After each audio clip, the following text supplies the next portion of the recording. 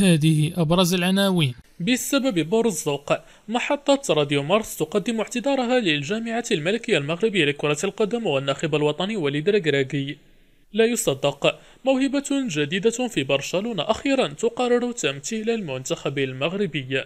عصام الشرعي يضم بونو ولاعبين من المنتخب الوطني الأول قبل أولمبياد باريس.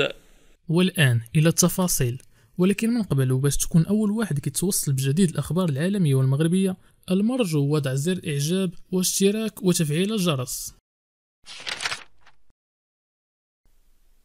بسبب بورزوق محطة راديو مارس تقدم اعتذارها للجامعة الملكية المغربية لكرة القدم والناخب الوطني وليد ركراكي تقدمت محطة راديو مارس باعتذار للجامعة الملكية المغربية لكرة القدم والعصبة الوطنية الاحترافية لكرة القدم والناخب الوطني وليد ركراكي وجميع مكونات المنتخب المغربي عن التصريحات المسيئة التي أدلى بها المحلل الرياضي حمزة برزوق في برنامج علماء مارس يوم الثلاثاء الثامن والعشرين من نوفمبر 2023 وقالت المحطة الإذاعية في رسالة اعتذارها أن تصريحات برزوق كانت خارج السياق وبعيدة عن الخط التحريري للمحطة لارتباطها بخيارات المدرب الوطني للاعبي الأندية الوطنية وتأثيرها على توقف البطولة الوطنية في تواريخ الفيفا المخصصة للمباريات الدولية.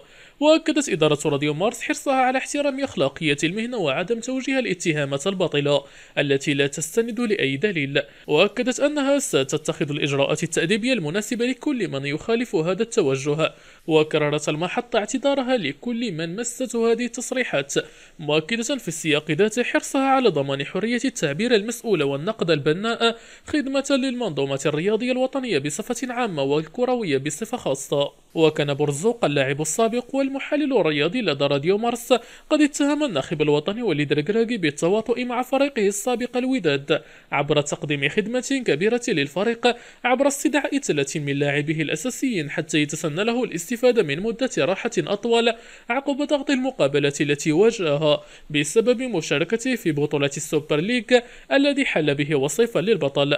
وتسببت تصريحات برزوق اتجاه وليد ركراكي في ردود فعل غاضبة من قبل العديد من المتابعين للشأن الرياضي المغربي الذين اعتبروها مسيئة وغير مسؤولة.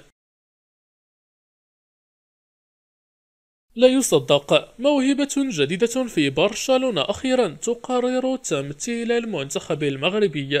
وجهت الجامعة الملكية المغربية لكرة القدم الدعوة للاعب إسماعيل الزياني مهاجم فريق فتيان برشلونة الإسبانية للمشاركة مع المنتخب المغربي. ونشر اللاعب صورة للمراسلة التي تواصل بها نادي برشلونة من أجل السماح لها بالمشاركة مع منتخب أقل من 15 سنة. في معسكره المقرر خلال الفترة الممتدة ما بين الحادي عشر والثامن عشر من دجنبر القادم. يشار إلى أن إسماعيل زياني من مواليد سنة 2009 وهو من أب مغربي وأم إسبانية. عصام الشرعي يضم بونو ولاعبين من المنتخب الوطني الأول في تشكيلة الأولمبي قبل أولمبياد باريس. يتجه عصام الشرعي مدرب المنتخب الأولمبي المغربي نحو الاستغناء عن اللاعبين الممارسين في البطولة المغربية خلال مشاركة المغرب في الألعاب الأولمبية المقبلة والاكتفاء فقط بالعناصر التي تتميز في أوروبا. وأكد موقع العربي الجديد نقلا عن مصادرها أن لاعبين من أمثال حمزة إجمان مهاجم نادي الجيش الملكي وزكريا لبيب الظهير الأيسر لنادي شباب السوالم. بالإضافة إلى حارس نادي الفتح الرياضي رشيد غانمي تضاءلت حظوظهم في الحضور في الأولمبياد المقبل. ويفكر أعضاء الجهاز التدريبي للمنتخب المغربي في استدعاء عناصر مثل الحارس ياسين بونو المحترف في نادي الهلال السعودي ونيف أكرد مدافع فريق ويست هام يونايتد الإنجليزي. بالإضافة إلى أشرف حكيمي لاعب نادي باريس سان جيرمان الفرنسي. لضمهم للمنتخب الأولمبي المقبل على المشاركة في أولمبياد باريس 2024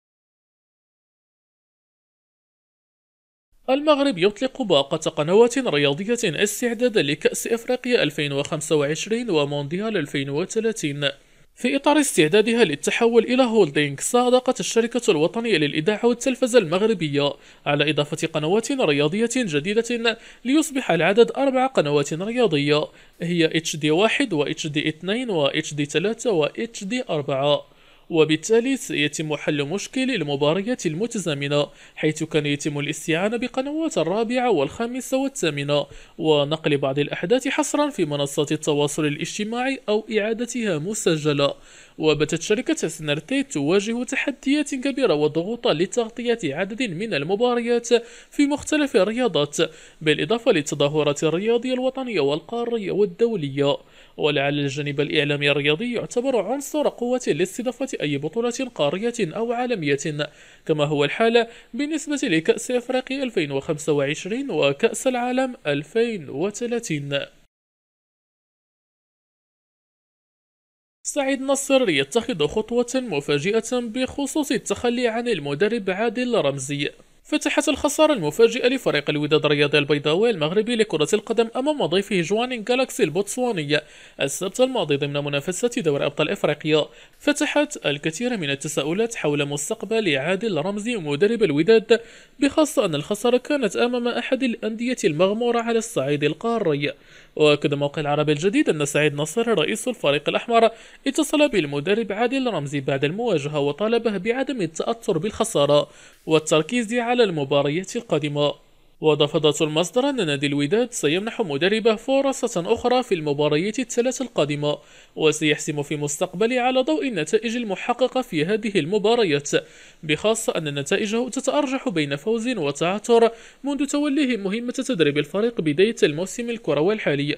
ويفضل رئيس الوداد الرياضي الاحتفاظ بالمدرب عادل رمزي خلال الوقت الحالي إلا أن عدم تحقيقه لنتائج إيجابية في المباريات الثلاثة القادمة. سيضطره للتفكير في البديل ويبقى اسم التونسي المخضرم فوزي البنزرتي الأقرب لتعويضه في حال الرحيل.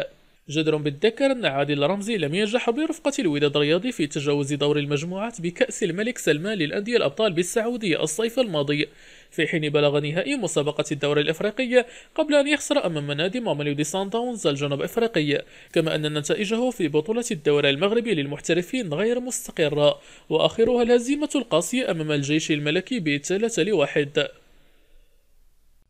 هذه أبرز العناوين. بسبب بورزوق محطة راديو مارس تقدم اعتذارها للجامعة الملكية المغربية لكرة القدم والناخب الوطني وليد ركراكي لا يصدق موهبة جديدة في برشلونة. أخيرا تقرر تمثيل المنتخب المغربي. عصام الشرعي يضم بونو ولاعبين من المنتخب الوطني الأول قبل أولمبياد باريس.